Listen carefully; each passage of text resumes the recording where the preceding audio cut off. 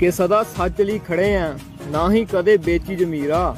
ਠਾਗਰ ਦੀ ਜ਼ਮਾਨ ਤਾਂ ਮਿੱਤਰੋ, ਪੱਥਰ ਤੇ ਲਕੀਰ ਹੈ। ਉਹ ਜਿਹੜੇ ਤੋੜ ਦਈਏ ਹੱਡ